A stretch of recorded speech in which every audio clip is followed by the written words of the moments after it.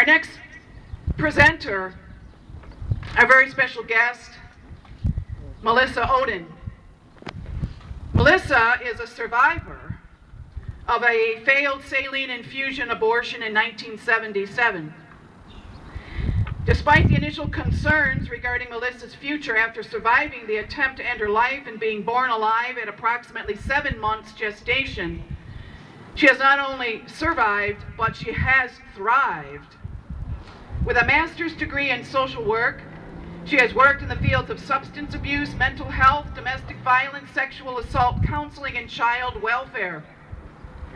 Melissa and her husband Ryan have a daughter, Olivia, whose birth at the same hospital where Melissa's life was supposed to end has significantly shaped Melissa's ministry. Melissa has been featured on television and radio programs including The 700 Club, EWTN, Life on the Rock, Defending Life, Fox News, and many others. Her life and ministry is featured in the award-winning pro-life documentary A Voice for Life. After years of searching for her biological family and offering them forgiveness for the decision that was made to end her life, Melissa's story is so much more than one of survival. Melissa's story is one about the beauty of God's grace in our lives, about the power of love, about the hope for joy and healing in the midst of grief and loss, and about the transformational power of forgiveness in answering God's call for your life. Fulfilling the purpose that she believes God set out for her when he saved her from the certain death of the abortion attempt. Melissa is truly a voice for the voiceless. So I present to you now abortion survivor, Melissa Ohden.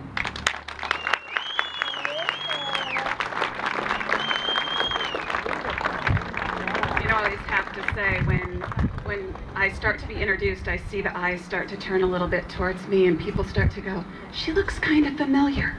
That's okay, I get that a lot. And the truth is, I know one of the things that most people are thinking when they turn and look at me is, whoa, I never expected that, right? It's okay, I get that a lot. But that also speaks to the power of God's grace in my life. And, you know, many people probably don't know this, but the reason why I'm here today is not only to honor the children who lost their lives here and honor all of you who, who played a part in making sure that this clinic is closed today, but I'm also here because a few years back I got to know Dr. Monica Miller's work. And when I saw how children who had been left behind after being aborted at clinics when I saw how much Dr. Miller and everyone with Citizens for a Pro-Life Society paid them respects, it meant the world to me. Because in a world that doesn't want to acknowledge lives like mine and the lives of the children who lost their lives here at the American Family Planning Clinic, I will tell you that it means the world to me to know that all of you thank you for that.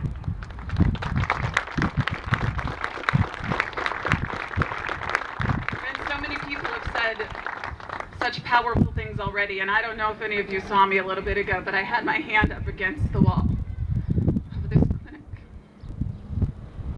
And I prayed the same prayers that all of you have been praying over the last two decades. Not only that this clinic closes and that the evil is ended, but I prayed for the repose of those children's souls. And I prayed that they know how much they are loved and how everyone here loved for them. No matter what the outcome was inside that building, those children were deeply loved. And so, of course, I stand here in front of you, an incredibly humble woman. You know, Dr. Monica Miller used the word bittersweet to describe what it's like to be here. That is so true. But for me, the, the word that the Lord kept giving me in preparation for day, today was humbled. I am humbled to be standing here in front of a building where thousands of children suffered a fate far worse than what I did by surviving a failed abortion. I stand here humble because I'm standing with all of you whose prayers made a dramatic difference in the lives of children. Whether those children were able to survive like me or they perished, the truth is your prayers made a dramatic impact in the lives of women and their children, many of whom you will never meet on this earth, but you will someday see in heaven. And I am humbled to be with organizations like Citizens for a Pro-Life Society and Guadalupe Partners who are doing amazing things to make a dramatic difference in the lives of women children and families and ultimately your community. And I am humble because I should have suffered the same fate that thousands of children did here at this clinic. Because almost 36 years ago, my biological mother was much like the women who came to this clinic. My biological mother fits most statistics when it comes to abortion. She was 19 years old. She was a college student. And sadly, like so many women who came to this very clinic, what I know now is that my biological mother was not given any other choice than to abort me. And I'm not just talking about coercion, which is what I understood for years. I had thought that my biological mother had been coerced to abort me. What I know now is that she was literally forced by her own mother, my grandmother, who was a prominent nurse in the community. Apparently, the abortionist owed my grandmother a favor. And what that led to was an abortion forced upon my birth mother, done in secret at a hospital. For those of you who aren't aware of the saline infusion abortion that I survived, I'll tell you a little bit about it. It involved injecting a toxic salt solution into the amniotic fluid surrounding me in the womb. The intent of that toxic salt solution was to scald me to death from the outside in. If you look it up on the internet after you leave here today, you can read about how children like me are actually called the red skin or candy apple babies because it turns the skin bright red as it peels it away and moves internally into the organs. My birth mother's abortion should have lasted about 72 hours, but for some unknown reason, I soaked in that toxic salt solution for five days. And as horrific as it is for me to think about what it was like for me to fight for my life in the womb, it is equally horrific for me to think about what it must have been like for my biological mother over those five days. It was not her choice to abort me. My biological parents had dated for four years and were madly in love with one another. They would have married. They would have parented me. I had family members who offered to have my biological mother live with them. But there was no other choice. And so she was left to wait over those five days after that toxic salt solution was delivered. And I have no doubt she likely felt me fighting for my life inside her womb because I have met too many women like my biological mother who felt just that before their children ultimately lost their lives. But after those five days of soaking in that toxic salt solution were completed, I was delivered at St. Luke's Hospital in Sioux City, Iowa, in secret, as I know now. And certainly they initially believed the abortion had succeeded in ending my life. Certainly it should have. But what I know now is that although they initially left me for dead there at the hospital to be disposed of like thousands of children here at this clinic. Even though they left me for dead, God had other plans that day on August 29th of 1977. And it's okay, folks, I usually don't cry this much. This is just a very emotional time for me. But God had other plans that day because by his amazing grace, as I was left for dead at St. Luke's Hospital, there was a nurse who heard the weak grunting noises emanating from my body. And that's when the secret of the abortion was uncovered and the child who lived. You know, as I said when I first came up here, I know if you passed me on the street and you never saw me on television and never saw my face in a flyer, you would never guess in a million years that I suffered what I did in the womb. You would never know by looking at me today that I fought for my life even after I survived. Even though my biological mother thought she was less than five months pregnant when that abortion was forced upon her, the fact that I was able to live and I weighed a little less than three pounds, I was two pounds, 14 ounces when I survived, pointed to the fact she was much further along in her pregnancy than anybody had imagined. And when I actually obtained my medical records in 2007 that clearly detailed the abortion that I survived, and you can see them on my website, melissaohden, O-H-D-E-N.com, I put them there to show the world the truth about abortion. Through those medical records, one of the first notations by a doctor was that I looked like I was about 31 weeks gestation when I survived. How many children have suffered a fate? much like mine, but with a different outcome. I know you would never know by looking at me today that the doctors made two things very clear about my life from early on. First of all, there is no medical reason why someone like me survives an abortion. I'm okay with that.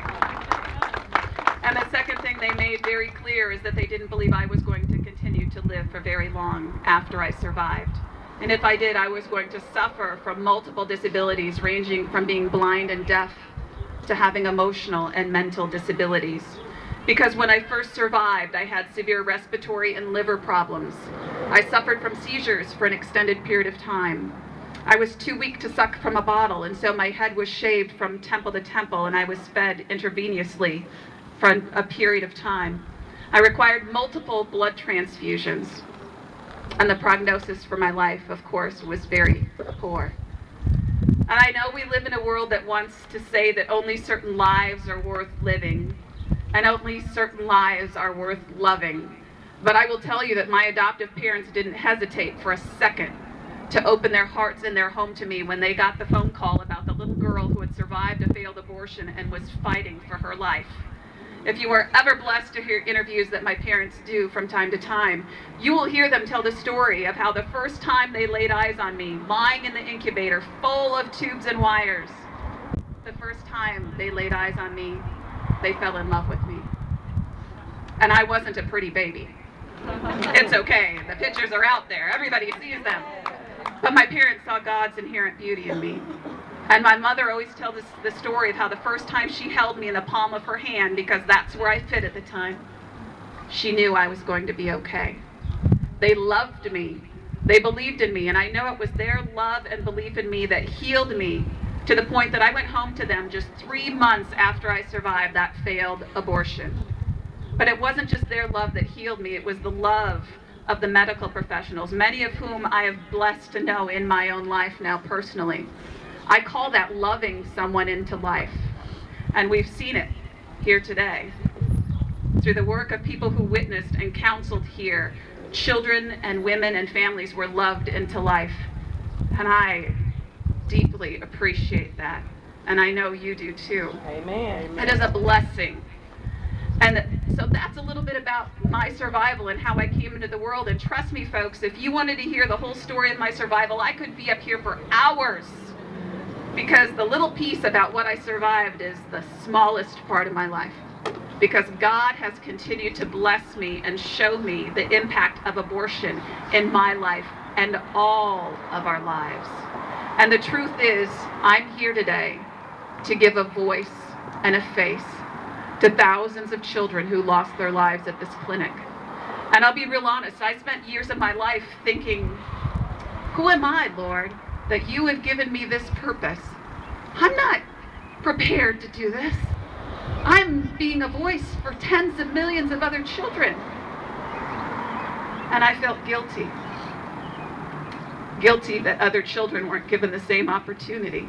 But I can tell you that I'm standing here today to show the world that this is what thousands of children who lost their lives at this clinic would have looked like in some way, shape, or form if only they would have lived. And this is what their voice would have sounded like. And this is how they would have chosen to live their lives. Full of joy with purpose, with meaning. And as hard as it is for us to think about the lives that were lost here and what it's like to live in a culture of death, what we're also here to do today is to celebrate. To celebrate the fact that no more lives will be lost in this clinic. And that is by the grace of God. And that is by the efforts of each and every one of you who have been willing to say, Yes, Lord. Yes, Lord, I will do what you are calling me to do, even when it makes me feel uncomfortable, even when I feel totally unprepared. I will do whatever it takes to make a difference in someone's life and ultimately in our world. And certainly we know that you've made a difference. You have living testament of it today. But have you thought for a second about the legacy that you are leaving by the work that you have done?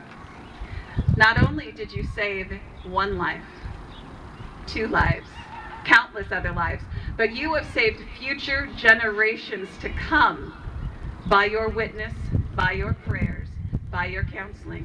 And because this clinic is now closed, future generations will survive and will thrive in your community, just like I've been blessed to do that very thing.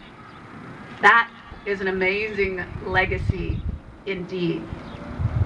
And I say legacy because I am blessed now to be a mother myself. Amen. Our little girl is five years old.